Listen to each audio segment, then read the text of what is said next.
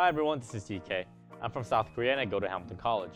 As some of you might know, I've been working in the fields of social media, instructional technology, graphic art, and photography, and I recently come to a realization that I could not call myself an expert in these fields if I could not prove that I'm an expert.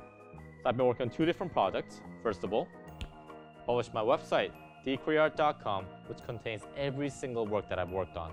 So please check it out and let me know what you think about it. Secondly, I'll be producing videos that are relevant to these fields. For example, I'll be focusing on smartphone applications such as Snapchat to figure out why they are so important and why they're so popular. Why do we wake up every morning, take a picture of ourselves, and send it to everyone? So please stay tuned for more videos, and thank you for watching.